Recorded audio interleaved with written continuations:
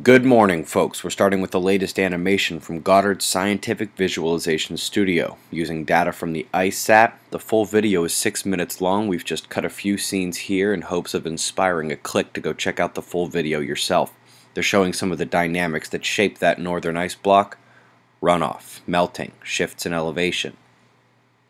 The GPM is up, running, processing, and returning our first data. This is the upgrade from the Tropics mission not just in global coverage, but in its imaging capabilities as well. We're looking at the first product, analysis of a tropical storm in the Pacific. Can't wait for the public site's full functionality.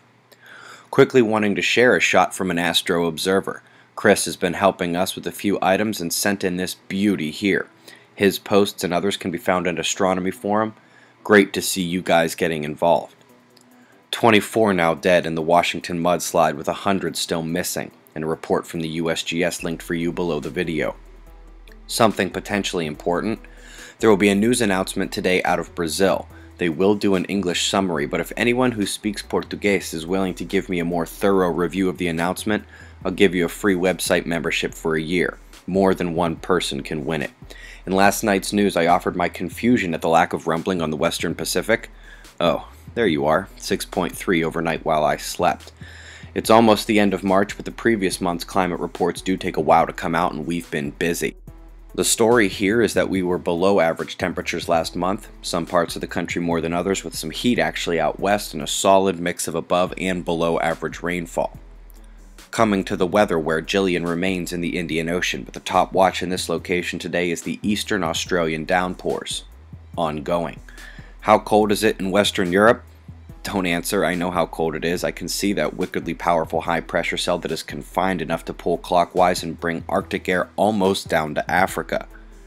Bit of a crapshoot here. Nobody's completely out of the woods, but some heavy snow in the normal areas may cause a snarl or two and will be the top watch. Bartol added back the cosmic ray anomaly from two days ago. With no major solar flaring, gamma bursts, or solar wind jolts on the telemetry during that time, I'm inclined to ignore the official shock notice and call this an indication of our weakening heliosphere. This will get more and more common. Point of conspiracy mitigation.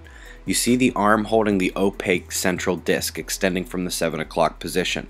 Well, when they flip SOHO, as they often do, Obviously the arm flips sides, and they never ever get this without calibration needed.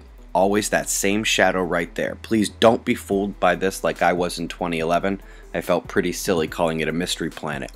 Anywho, solar wind telemetry reveals an interplanetary shock that we expected to be minor this morning.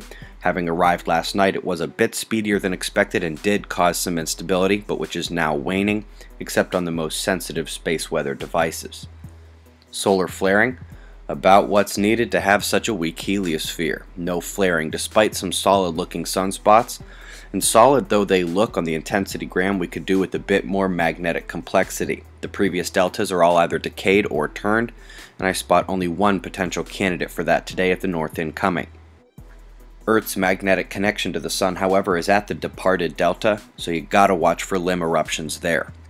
Southern negative coronal hole is exiting, equatorial positive opening incoming. It is indeed of only moderate power. If we took photos together at the conference, I posted them to the website suspiciousobservers.org slash conference dash photos. Those who asked about sending them, you can download them right there off the page if you like, and I hope you do. If I can take a quick moment to mention that if you are new to the website, you will see an extra button in the middle of the menu. It disappears after you become a member, and if you are interested in a short evening space weather update, weekly audio podcasts, monthly special features, and a private forum, I humbly welcome you to join our website. It's just 3 bucks a month or 20 bucks for the full year if you can swing the load up front. Thin dark plasma filaments snaking around in eruption position.